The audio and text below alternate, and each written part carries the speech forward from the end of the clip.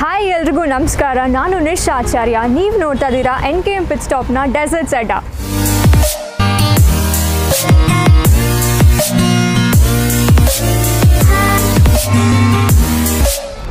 ನಾವಿವತ್ತು ಮಲೇಶ್ವರಂನ ಲೆವೆನ್ ಕ್ರಾಸ್ನಲ್ಲಿರೋ ಹತ್ತತ್ರ ಇಪ್ಪತ್ತೆಂಟು ವರ್ಷದ ಹಳೆ ಐಸ್ ಕ್ರೀಮ್ ಪಾರ್ಲರ್ಗೆ ಬಂದಿದ್ದೀವಿ. ಈ ಐಸ್ ಕ್ರೀಮ್ ಪಾರ್ಲರ್ ಬಗ್ಗೆ ನಾನು ಆಮೇಲೆ ಹೇಳ್ತೀನಿ, ಬಟ್ ನಾನಿವತ್ತು ಒಬ್ಬಳೇ ಟ್ರೈ ಮಾಡ್ತಿಲ್ಲ. ನನ್ನ ಜೊತೆ ಒಬ್ಬರು ಸ್ಪೆಷಲ್ ಗೆಸ್ಟ್ ಇದ್ದಾರೆ. ಅವ್ರು ಯಾರು ಅಂತ ಯೋಚನೆ ಮಾಡ್ತಿದ್ದೀರಾ? ಅವರೇ ಟೋಪಿವಾಲಾ ಶ್ರೀನಿವಾಸ ಕಲ್ಯಾಣ, ಬೀರ್ಬಲ್ ಅನ್ನೋ ಸೆನ್ಸೇಷನಲ್ ಮೂವೀಸ್ ಕೊಟ್ಟಿರೋ actor director writer what not ಅವರೇ ನಮ್ಮ ಎಂ ಜಿ ಶ್ರೀನಿವಾಸ್ ಅವರು.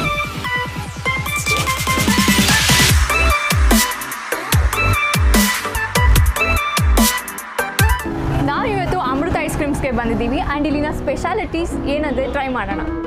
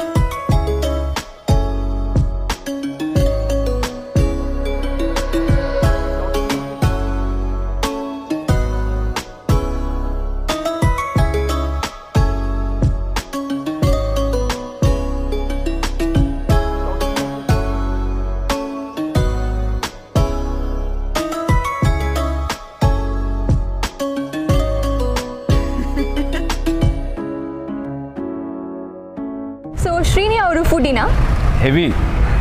ನನಗೆ ಎಸ್ಪೆಷಲಿ ಐಸ್ ಕ್ರೀಮ್ಸ್ ಅಂದರೆ ಭಾರಿ ಇಷ್ಟ. ಮಧ್ಯರಾತ್ರಿ ಹನ್ನೆರಡು ಗಂಟೆಲಿ ಎಬ್ಸ್ಬಿಟ್ಟು ಐಸ್ ಕ್ರೀಮ್ ಕೊಟ್ಟರು ತಿಂತೀನಿ. ಬೆಳಗ್ಗೆ ಬೇಗ ಎಬ್ಸ್ಬಿಟ್ಟು ಕೊಟ್ಟರು ಐಸ್ ಕ್ರೀಮ್ ತಿಂತೀನಿ. ನಂಗೆ ಐಸ್ ಕ್ರೀಮ್ ಅಂದರೆ ಸಖತ್ ಇಷ್ಟ. ಬಟ್ ಏನು ಅಂದರೆ ಈ ವರ್ಕೌಟ್ ಮಾಡಬೇಕಾದ್ರೆ ಅವಾಗ ಒಂದು ಸ್ವಲ್ಪ ಕಟ್ ಮಾಡೋ ಭಾರಿ ಕಷ್ಟಪಟ್ಟು ಕಟ್ ಮಾಡ್ತೀನಿ. ತಿಂದಲೇ ಇರ್ತೀನಿ. ಯಾವಾಗ ಒಂದು ಬ್ರೇಕ್ ಆಗುತ್ತೋ ಅವಾಗ ಒಂದು ರೌಂಡ್ ಹೋಗಿ. ಎಷ್ಟೇ ಚಳಿ ಯಾ ಯಾ ಚಳಿಲೇ ತಿನ್ನೋ ಜಾಸ್ತಿ. ಯಾವ್ದಾದ್ರು ಪರ್ಟಿಕ್ಯುಲರ್ ಡಿಶ್ಗೋಸ್ಕರ ಹುಡ್ಕೊಂಡೋಗಿ ಯಾವ್ದಾದ್ರು ಟ್ರೈ ಮಾಡಿದ್ದೀರಾ? ಹಾಂ ಸುಮಾರು.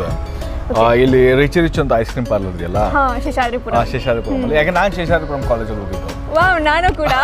ಓಕೆ ರೈಟ್ ಸೊ ಹಾಗಾಗಿ ಆ ರಿಚ್ ರಿಚಿಗೆ ಹೋಗ್ತೀವಿ ಹುಡ್ಕೊಂಡೋಗ ಒಂದು ಐಸ್ ಕ್ರೀಮ್ ತಿಂತೀವಿ.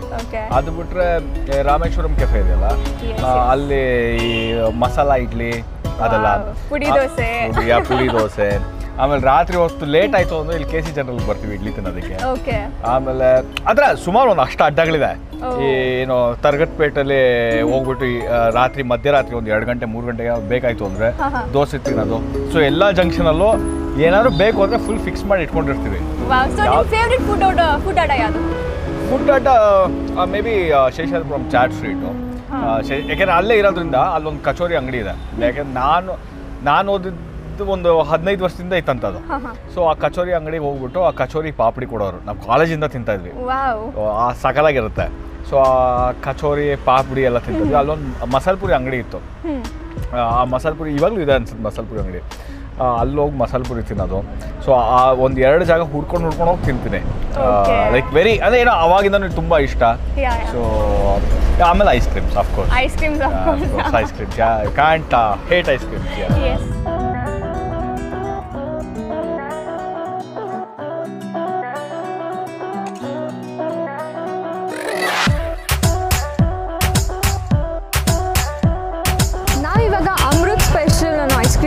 try ಮಾಡ್ತಿದ್ದೀವಿ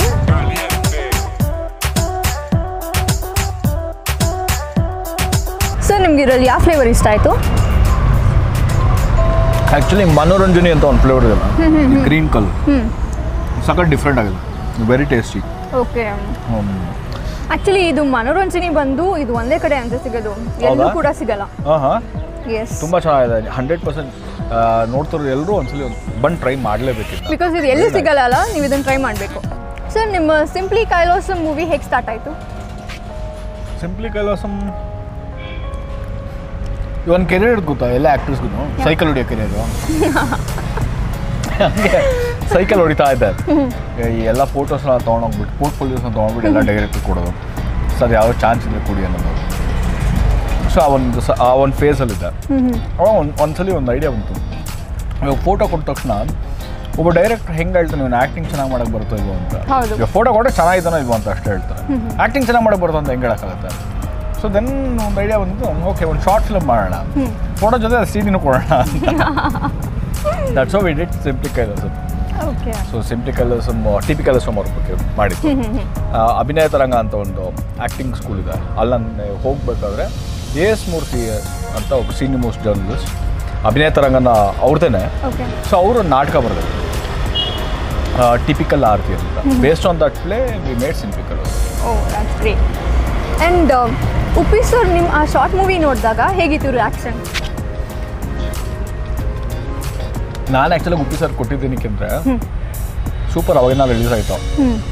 ಡಿ ವಿ ಡಿ ಕೊಟ್ಬಿಟ್ಟು ಸರ್ ಸಿನಿಮಾ ನೋಡಿ. ನೆಕ್ಸ್ಟ್ ಯಾವ ನಿಮ್ಮ ಸಿನಿಮಾಲಿ ಒಂದು ಸಣ್ಣ ಪುಟ್ಟ ಕ್ಯಾರೆಕ್ಟರ್ ಕೊಡಿ ಅಂತ. ಬಟ್ ಅದಾದ್ಮೇಲೆ ನೀವು ಅವ್ರದೇ ಆದ ಟೋಪಿವಾಲ ನೀವು ಡೈರೆಕ್ಟ್ ಮಾಡ್ತೀರಾ. ಲೈಕ್ ಡೈರೆಕ್ಟರ್ನೇ ಡೈರೆಕ್ಟ್ ಮಾಡೋ ಎಕ್ಸ್ಪೀರಿಯನ್ಸ್ ಹೇಗಿತ್ತು? ತುಂಬ ಚೆನ್ನಾಗಿತ್ತು. ಸೊ ಆ ಅಂದರೆ ಆ ಫಿಲ್ಮ್ ನೋಡಿದ್ಮೇಲೆ ಸಿಂಪ್ಲಿ ಕಲ್ ಫಿಲ್ಮ್ ನೋಡಿದ್ಮೇಲೆ ಓನ್ಲಿ ಕಾಲ್ ಮಿ ಒಂದು ಹನ್ನೆರಡುವರೆಗೆ ಫೋನ್ ಮಾಡೋದು ರಾತ್ರಿ. ನಾನು ಮೋಸ್ಟ್ಲಿ ಮಿಸ್ ಆಗಿ ಡೈಲಾಗ್ ಇರುತ್ತೆ. ಬಿಕಾಸ್ ಅಷ್ಟು ರಾತ್ರಿಗೆ ಮತ್ತೆ ಕಾಲ್ ಬಂತು. ಆಮೇಲೆ ಅಂದೆ ಸಾರಿ ಮಲಗಿದ್ರಾ? ಅಂದರು. ಓ ಹಂಡ್ರೆಡ್ ಪರ್ಸೆಂಟ್ ಹಂಗೆ. ಒಂದ್ಸಲ ಹಿಂಗೆಲ್ಲ ಹಿಂಗೆಲ್ಲ. ಆಮೇಲೆ ಇಲ್ಲ ಸರ್ ಹೇಳಿ ಸರ್ ಅಂದೆ. ತುಂಬ ಚೆನ್ನಾಗಿ ಮಾಡಿದ್ದೀರಿ ನಿಮ್ಮ ಶಾರ್ಟ್ ಫಿಲಮ್ಮು ನೋಡಿದೆ ನಾನು ಸಖತ್ತಾಗಿತ್ತು ಬನ್ನಿ ನಾಳೆ ಮನೆಗೆ ಅಂದರು.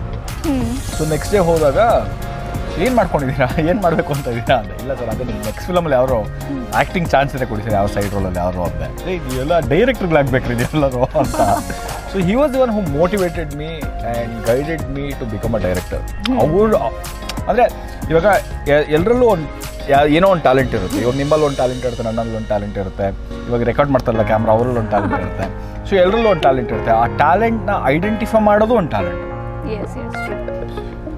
so I think he was one who recognise my talent as recognized my as talent director so all credits to him.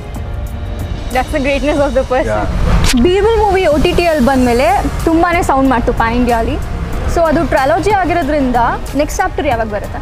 ಅದೇ ಪ್ಲಾನ್ ಮಾಡ್ತಾ ಇದ್ದೀವಿ. ಈ ಹಿಟ್ಟಾದ ತಕ್ಷಣ ಭಯ ಜಾಸ್ತಿ ಆಗುತ್ತೆ. ಸೊ ಅದಕ್ಕೆ ಅಂದರೆ you have to be more responsible. ಜವಾಬ್ದಾರಿ ಜಾಸ್ತಿ ಇರುತ್ತೆ. ಒಂದು ಎಕ್ಸ್ಪೆಕ್ಟೇಷನ್ ಇರುತ್ತೆ ಒಂದು ನಂಬಿಕೆ ಇರುತ್ತೆ ಜನಕ್ಕೆ.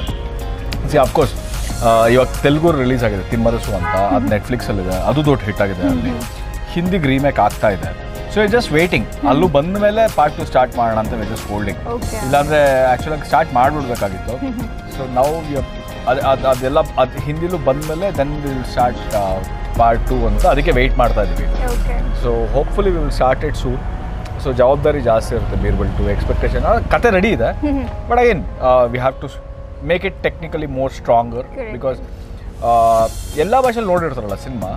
ಅವಾಗ ಟೆಕ್ನಿಕಲಿ ಆ ಲೆವೆಲಲ್ಲೇ ಎಕ್ಸ್ಪೆಕ್ಟ್ ಮಾಡ್ತಾರೆ ನೆಕ್ಸ್ಟ್ ನೆಕ್ಸ್ಟ್ ಪಾರ್ಟ್ನ ಸೊ ಹಾಗಾಗಿ we are doing lot homework on ಭಾಷೆ. ಸೊ ಆದಷ್ಟು ಬೇಗ yeah thank you thank you so much and ನಿಮ್ಮ next release Old Monk ready ಆಗಿದೆ ಆಲ್ರೆಡಿ ಸೊ ನೀವು ಓಲ್ಡ್ ಮಾಂಕ್ ಅನ್ನೋ ಟೈಟಲ್ ಯಾಕೆ? ಅದೇ ತುಂಬ ಜನ ನಾವು ಹೇಳ್ತಾ ಇರ್ತೀವಿ ಓಲ್ಡ್ ಮಾಂಕ್ ತಕ್ಷಣ ಇದಲ್ಲ ಸಿನಿಮಾ ಸಿನಿಮಾ ಇದಲ್ಲ ಸಿನಿಮಾ ಸಿನಿಮಾ ಅಂತ. ಬೇಸಿಕಲಿ ಓಲ್ಡ್ ಮಾಂಕ್ ಅಂದರೆ ಲಿಟ್ರಲ್ ಕನ್ನಡ ಟ್ರಾನ್ಸ್ಲೇಟ್ ಮಾಡಿದಾಗ ಹಳೆ ಸನ್ಯಾಸಿ ಓಲ್ಡ್ ಇಸ್ ಹಳೆ. ಮಾಂಕ್ ಇಸ್ ಸನ್ಯಾಸಿ ಹಳೆ ಸನ್ಯಾಸಿ. ಜನರು ರಿಲೇಟ್ ಮಾಡ್ಕೊಳ್ಳೋದು ಅದಕ್ಕೆ. ಹೌದು. ಸಿನಿಮಾ ಆ್ಯಕ್ಚುಲಾಗಿ ಸ್ಟಾರ್ಟ್ ಆಗೋದು ದೇವಲೋಕದಲ್ಲಿ. ದೇವಲೋಕದಲ್ಲಿ ನಮ್ಮ ಸಿನಿಮಾ. ಸ್ಟಾರ್ಟ್ ಆಗಿದೆ ಕೃಷ್ಣ ಆಮೇಲೆ ರುಕ್ಮಿಣಿ ಜಗಳ ಆಡ್ತಾ ಇರ್ತಾರೆ. ಕೃಷ್ಣ ಗೊತ್ತಿರಲ್ಲ ಏನಕ್ಕೆ ರುಕ್ಮಿಣಿ ಕೋಪ ಮಾಡ್ಕೊಂಡಿರ್ತಾನೆ. ಅಂತ. ಕೇಳ್ತಾನೆ ಕೃಷ್ಣ ಶ್ರೀಕೃಷ್ಣ ಪರಮಾತ್ಮ ಯಾಕಮ್ಮ ಕೋಪ ಮಾಡ್ಕೊಂಡಿದ್ಯಾ ನನ್ನ ಮೇಲೆ ಅಂತ. ಬಾಯ್ ಫ್ರೆಂಡ್ ತಾನೇ ನೀನು? ಯೋಚನೆ ಮಾಡು. ದೇವ್ರ ತಾನೇ ನೀನು? ಅಂತ ಹೇಳ್ಬಿಟ್ಟು ಕೃಷ್ಣ ವಿಲ್ ಬಿ ಲೈಕ್ ಹೆಣ್ಮಕ್ಳ ಹೆಂಗೆ ಗುರು. ನೀವು ಸೊಲ್ಯೂಷನ್ ಏನು ಅಂತಲೂ ಕೊಡೋದಿಲ್ಲ. ಏನಕ್ಕೆ ಕೋಪ ಮಾಡ್ಕೊಂಡಿದ್ಯಾ ಅಂತಲೂ ಹೇಳಲ್ಲ. ಹೌದಲ್ವಾ? ಕರೆಕ್ತಾನೆ ಆ್ಯಕ್ಚುಲಿ ಹೌದು.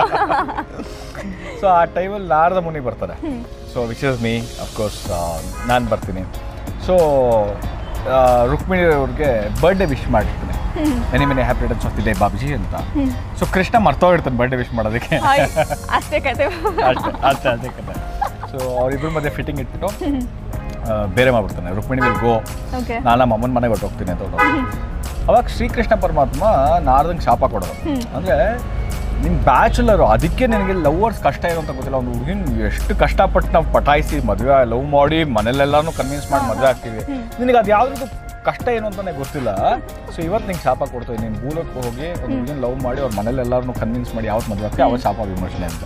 ಓಹ್ ಸೊ ಅದಾದ್ಮೇಲೆ ಏನಾಗುತ್ತೆ ಅನ್ನೋದು ಕತೆ. ಓಕೆ ಜನರು ಓಲ್ಡ್ ಮಂಗ್ನ ಥಿಯೇಟ್ರಲ್ಲೇ ಏನಕ್ಕೆ ನೋಡಬೇಕು? ಎಂಟರ್ಟೈನ್ಮೆಂಟ್ ಪ್ಯೂರ್ ಎಂಟರ್ಟೈನ್ಮೆಂಟ್ ಸಿ ಜನ ಬರೋದೇ ಎಂಟರ್ಟೈನ್ಮೆಂಟ್ಗೋಸ್ಕರ ಇಲ್ಲ ಅಂದರೆ ನಾನು ಡಾಕ್ಯುಮೆಂಟ್ರಿ ನೋಡಬೇಕು ಅಂದರೆ ನಾನು ಓ ಟಿ ಟಿಲಿ ನೋಡ್ತೀನಿ. ಮೊಬೈಲಲ್ಲಿ ನೋಡ್ತೀನಿ. ಟಿ ವಿಲಿ ನೋಡ್ತೀನಿ ಯೂಟ್ಯೂಬಲ್ಲಿ ನೋಡ್ತೀನಿ. ಸಾವಿರ ಇದಿದೆ. ಇವತ್ತು ನಾನು ಎಸ್ಪೆಷಲಿ ನಾನು ಥಿಯೇಟ್ರಿಗೆ ಹೋಗೋದು ಎಂಟರ್ಟೈನ್ಮೆಂಟ್ ನೂರೈವತ್ತು ರೂಪಾಯಿ ಕೊಡ್ತೀನ, ಇನ್ನೂರು ರೂಪಾಯಿ ಕೊಡ್ತೀನ, ನೂರು ರೂಪಾಯಿ ಕೊಡ್ತೀನ ಪ್ಯೂರ್ ಎಂಟರ್ಟೈನ್ಮೆಂಟ್ ಸೊ ಜನ ಅಷ್ಟು ಸ್ಟ್ರೆಸ್ ವರ್ಲ್ಡಲ್ಲಿ ಕೆಲಸದಲ್ಲಿ ಸ್ಟ್ರೆಸ್ ಇರುತ್ತೆ, ಮನೇಲಿ ಹೋದ್ರೆ ಸ್ಟ್ರೆಸ್ ಇರುತ್ತೆ ಗರ್ಲ್ ಫ್ರೆಂಡ್ ಸ್ಟ್ರೆಸ್ ಇರುತ್ತೆ ಬಾಯ್ ಫ್ರೆಂಡ್ ಸ್ಟ್ರೆಸ್ ಇರುತ್ತೆ ಅಪ್ಪ ಅಮ್ಮ stress teacher stress ಇರೋಬ್ರೆ we are living in a stressful world so ಥಿಯೇಟ್ರಿಗೆ ಬರೋದು ಎಂಟರ್ಟೈನ್ಮೆಂಟ್ಗೋಸ್ಕರ ಸೊ ದಿಸ್ ಫುಲ್ ಮೀ ಈ cinema it's a pure entertainer ನೀವು ಬಂದ್ರೆ ಒಂಥರ ಪಟಾಕಿದಂಗೆ. ಹಿಂಗ್ ಅಂಟಿಸಿದ್ರೆ ಡಮ ಡಮ ಡಮ ಅಂತ ಒಂದು ತೌಸಂಡ್ ಎಲ್ಲ ಹೊಡೆದು ಎಂಡ್ ಆಗುತ್ತಲ್ವಾ? ಮೈಂಡ್ ರಿಫ್ರೆಶ್ ಆದಂಗೆ. Mind refresh it's a total fun ride family entertainers waiting thank you thank you so much thank you very much miss ಮಾಡಿದೆ ನೀವು ನೋಡಿ ಇದೇ ಫೆಬ್ರವರಿ ಇಪ್ಪತ್ತೈದನೇ ತಾರೀಕು ರಿಲೀಸ್ ಆಗ್ತದೆ. ಥಿಯೇಟ್ರಿಗೆ ಬಂದು ಫಸ್ಟ್ ಡೇ ಫಸ್ಟ್ ಶೋನೇ ನೋಡಿ. ಶೋರ್ ನಾವಂತೂ ಪಕ್ಕ. ಥ್ಯಾಂಕ್ ಯು ಸೊ ಮಚ್ ನೋಡಿದ್ರಲ್ಲ ನಾವಿವತ್ತು ಅಮೃತ್ ಐಸ್ ಕ್ರೀಮ್ಸ್ಗೆ ಬಂದಿದ್ವಿ. ಫಸ್ಟ್ ನಾವು ಟ್ರೈ ಮಾಡಿದ್ದು matka kulfi and normal kulfi. Normal kulfi Srinivas ಅವ್ರು ಟ್ರೈ ಮಾಡಿದ್ರು. ಅವ್ರು ಹೇಳ್ದಂಗೆ ತುಂಬಾ ಚೆನ್ನಾಗಿತ್ತಂತೆ. And matka kulfi was also good next ನಾವು ಟ್ರೈ ಮಾಡಿದ್ದು ಅಮೃತ್ ಸ್ಪೆಷಲ್ ಅದರಲ್ಲಿ ನಾಲ್ಕು ಫ್ಲೇವರ್ಸ್ ಇತ್ತು. Saffron Manoranjini roasted almond and butterscotch ಇದಿಷ್ಟರಲ್ಲಿ ನಂಗೆ ತುಂಬ ಇಷ್ಟ ಆಗಿದೆ ಅಂದರೆ ಮನೋರಂಜಿನಿ ಆಫ್ ಕೋರ್ಸ್ ಆ್ಯಂಡ್ ಅದ್ರ ಮೇಲೆ ಡ್ರೈ ಫ್ರೂಟ್ಸ್ ಆ್ಯಂಡ್ ಹನಿ ಹಾಕಿರೋದ್ರಿಂದ ತುಂಬಾ ಐಸ್ ಕ್ರೀಮ್ ರಿಚ್ನೆಸ್ ಇತ್ತು. ಆ್ಯಂಡ್ ನೀವು ಈ ಕಡೆ ಬಂದಾಗ ಒಂದ್ಸಲ ಟ್ರೈ ಮಾಡಬೇಕು. ಸೊ ನೆಕ್ಸ್ಟ್ ಎಪಿಸೋಡಲ್ಲಿ ಸಿಗೋಣ. Until then take care and bye